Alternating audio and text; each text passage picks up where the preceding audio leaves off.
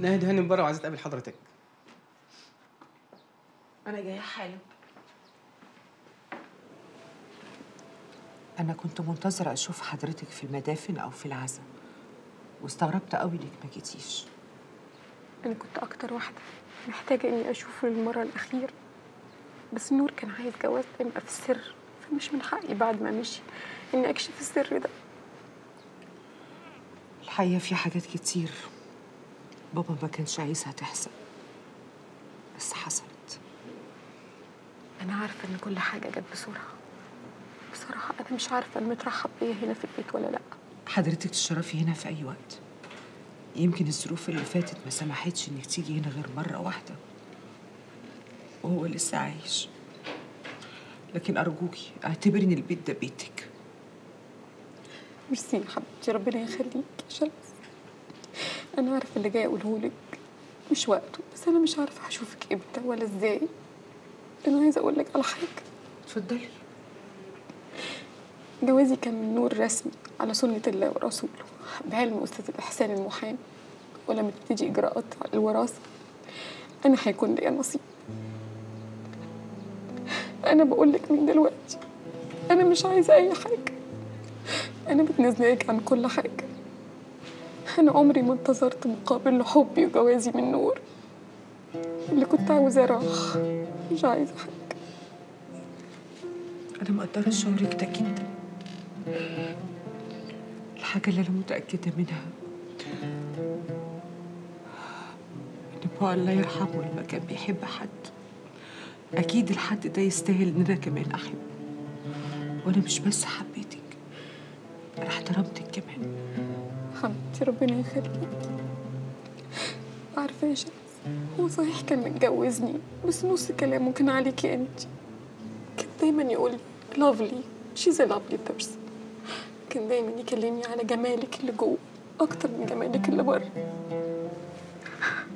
بجد أنا عمري ما شفت أب حب بنته قد ما هو حبك.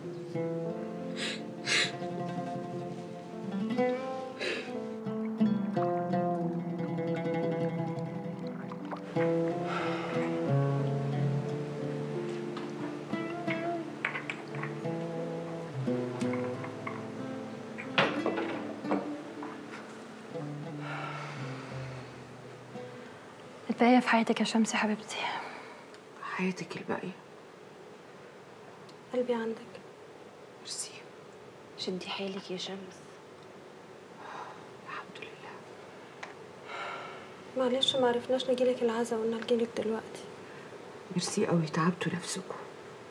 يا حبيبي ده كان واقف وسطينا يوم عيد الميلاد زي الفل ما فيهوش حاجة. الله يرحمك يا أنكل. الله يرحمه أنا برضو ديدي مات فجأة كده رجع من الشغل كل ونام بنصحيه الصبح ما صحيش يا حبيبي. الله يرحمه. الله يرحمه. هما في الإجراءات بتاعة النيابة هيحجزوا على فلوسكم كلها ولا على فلوس أنكل نور بس؟ أيوة فعلا يا شمس. انت لازم تقعدي مع المحامي بتاعك وتفهمي منه كويس. انت مصالحك كلها كده ممكن تتعطل. يعني لو جمدوا أرصدتك كلها في البنوك هتعملي إيه؟ أنا أسمع إن الحاجات زي دي بتتكتب بأسامي ناس تانية خالص بعيد عن إقرار الذمة المالية. ما تعملي كده يا شمس. إن شاء الله. أو خلي المحامي يكتب لك ورقة إن مجموعة شركاتكم بتخسر عشان ما يعرفوش يقدروا حجم ثروتكم. دي فكرة حلوة قوي آه قوي أنا جوز عمتي عمل كده لما جم يحجزوا عليه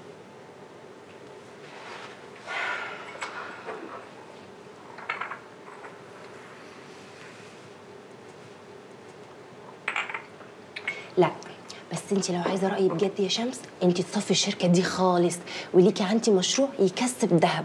أكبر beauty center في الشرق الأوسط. شمس. beauty center إيه بس؟ هي تبيع الشركة وبفلوسها تلف العالم بقى وتشوف حياتها. شمس يا حبيبتي انت لا ليكي جوز ولا عيلة عشان تقعدي لهم. مش قصدها. sorry يا شمس يا حبيبتي انت عارفة طبعا إن أنا ما أقصدش. sorry ليه؟ ما دي الحقيقة ولا إيه؟ عن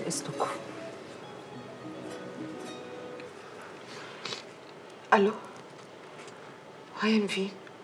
البقاء لله يا حبيبتي. والله ما أعرف. أنت عارفة الطحنة اللي أنا فيها لا بتفرج على تلفزيون ولا بقرأ جرايد. ده لولا ياسر قرأ الخبر في جورنال النهارده. معلش يا حبيبتي البقية في حياتك. حياتك الباقية. بصي اديني بس يومين. هرتب أجازة كده وانزل أقعد معاكي براحتي. عارفة حبيبتي إن كان لازم أبقى معاكي عارفة. معلش. ياسر عايز يعزيكي. طيب معلش هو جاله تليفون وهيكلمك تاني يا شمس. ماشي حبيبتي. خلي بالك من نفسك. يلا مع السلامة. إيه يا ياسر؟ مش عايز تعزيها ليه؟ مش هسيب شغلي يعني عشان أطبطب عليها في التليفون.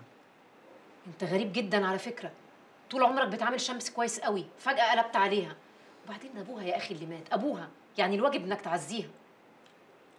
مش ده أبوها برضه اللي عمل لي شريف وعفيف؟ لما طلبت مساعدته في المشروع بتاعي عشان يتهرب مني هطب ساكت لما اتكشفت وسخته. الأشكال اللي زي دي ما تتعزاش ولا يتسأل فيها. يلا الله يرحمه. أنا بجد بجد مش مصدقاك. أنت إزاي بتفكر كده؟ أنا طالعه البلكونة.